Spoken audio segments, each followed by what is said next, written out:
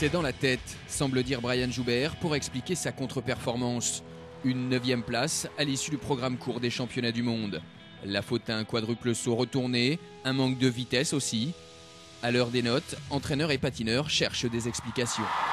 Lancier un petit peu, tu vois. Ça, c'est la gestion du stress. Faut que t'arrives à le faire. Mais non, hein. je, je sais gérer mon stress, mais le quad il est pas comme j'aime là.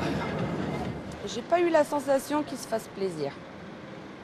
Du fait de son stress, justement. Enfin, de son stress. Lui, il l'analyse pas comme un stress. Lui, il a, du mal à, trou- à retrouver ses sensations depuis deux jours.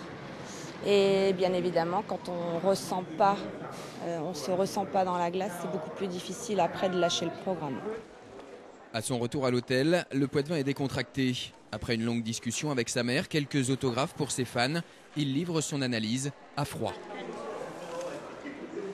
Trouve que ma place est logique. euh, j'ai pas, j'ai pas spécialement bien patiné, euh, même si j'ai fait une grosse erreur, mais le reste n'était pas libéré.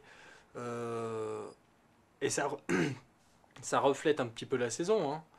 On m'a demandé en début de saison, voilà, je me voyais pas dans, dans les dix premiers. Maintenant, je sais que je peux faire mieux, mais il n'y a pas de surprise. hein. Donc, je suis pas spécialement déçu.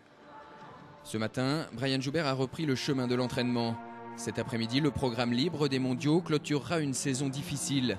Le vice-champion d'Europe devrait tenter deux quadruples sauts, histoire de finir l'année sur une bonne note. Sa seule ambition, le podium est inaccessible.